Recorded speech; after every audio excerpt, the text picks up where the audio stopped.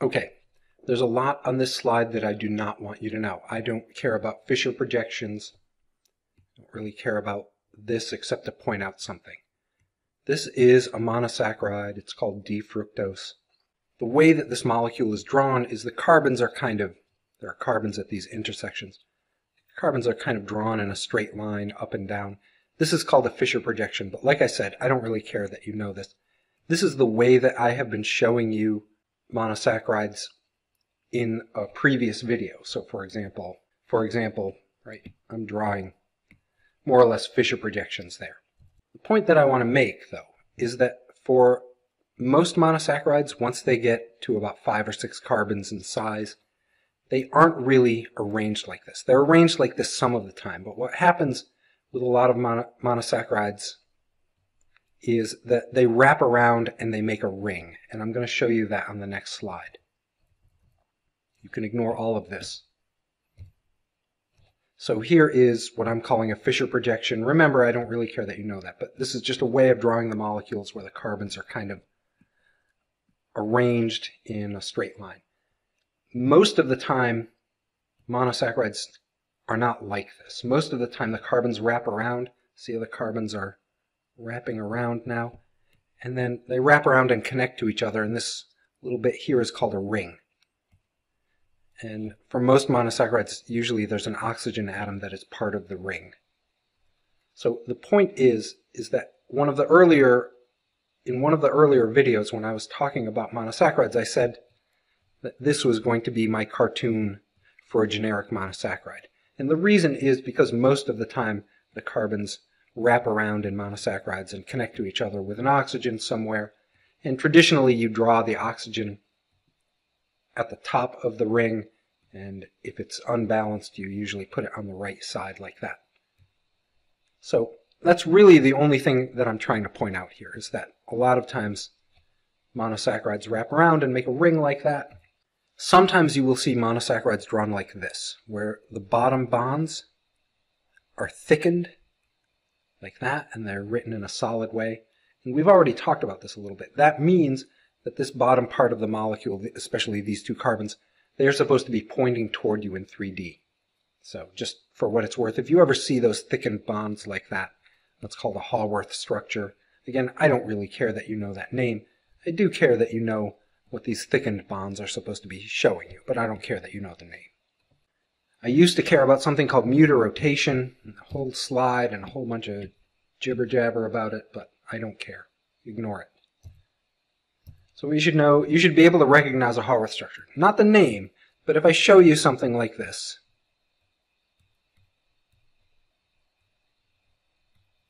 The bottom bond's thickened, and I say this is carbon number one, and this is carbon number two, or whatever, and I say which bonds are pointing toward you in 3D, you should know it's these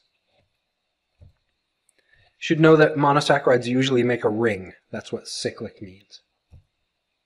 Should know what the, the wedges are just these thickened bonds. So this is those thickened bonds are sometimes called solid wedges, but you should know what those thickened bonds mean.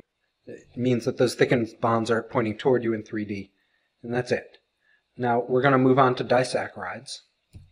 So we said in an earlier video that disaccharides are made by connecting two monosaccharides together. That's what the di means. Di means two. So disaccharide is two monosaccharides bonded to each other. There are many different kinds of disaccharide molecules. Maltose is a disaccharide. Again, I don't care that you know this. I'm just giving you examples. The way that you make maltose is you take two glucose molecules. Glucose is a monosaccharide. And you connect them together. You make that disaccharide if you connect them in a certain way. If you connect them in another way, you might make a different disaccharide. Lactose, you might have heard of people who are lactose intolerant. Lactose is a disaccharide, and you make it by taking a glucose molecule, connecting it to another monosaccharide called galactose, that makes a disaccharide called lactose. People who are lactose intolerant are unable to break the attachment between these two sugar molecules. There are other ones. This is the one that you and I eat most frequently. This is called sucrose. Uh, we just call it table sugar. And that is a disaccharide that's made from glucose and fructose, which is another monosaccharide. Now, in the next slide, I'm going to show you the general way to make the, the general chemistry of how to make a disaccharide. So how to make a disaccharide. This is just one specific example, but this is generally true. This is a glucose molecule here. This is another glucose molecule over there. Suppose that these two molecules are bouncing around in one of your cells, and for whatever reason, your cell wants to connect them to each other to make a disaccharide. What it can do, there's a carbon here, there's also a carbon here. What it can do is it can rip out that alcohol functional group, that OH, from one of the glucose molecules, and it can rip out a hydrogen from a neighboring glucose molecule. And if I rip those things out, I can use them to make water because I'm ripping out two H's and an O there. So I'm going to rip them out and I'm going to make water. They're gone. But now these molecules have a problem. This carbon needs an attachment because I just ripped one of its attachments away. And this oxygen also needs an attachment because I ripped the hydrogen away. So what your cell can do is it can connect that carbon to that oxygen. And once I connect them to each other, well, I've made a disaccharide. I've made a bigger molecule from two smaller ones. And here it is. Here's the connection. Here's the water that got made as well, because remember, we ripped the pieces of water out and we made a water molecule. So this particular disaccharide, it has a name, it's called maltose. Again, I don't care that you know that. But I do care that you know the general idea of how to connect the molecules. You rip the OH out, you rip the H out, you make a water molecule, and that ends up giving you a bigger molecule when you're done. This kind of reaction has a special name. It is called dehydration synthesis. And this is the most common way that living things use to make bigger molecules from smaller ones. In other words, almost, I don't know if it's almost all reactions, but it is many, many reactions in living things. When they have two little molecules that they need to connect to each other to make a bigger molecule, what they will do is they will rip out pieces of water from the two little molecules, make a water molecule, and use the extra attachments that need to get made to connect the little molecules to each other to make a bigger molecule. So dehydration synthesis is what this kind of reaction is called. And just in general terms, that is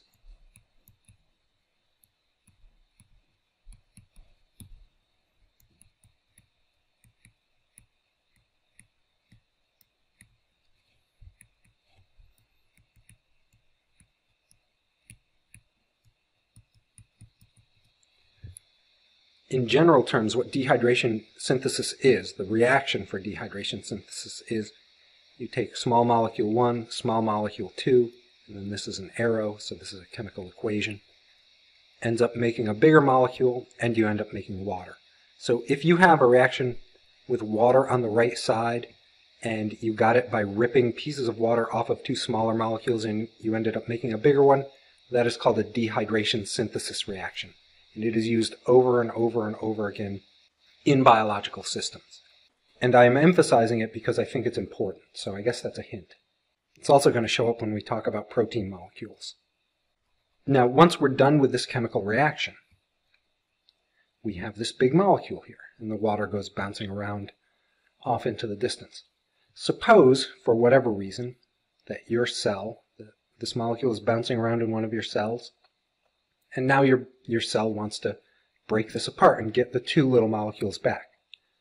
Your cell can run the reaction in reverse. In other words, it can take a water molecule that's bouncing around nearby, break it apart, and add it over here, and basically split the attachment.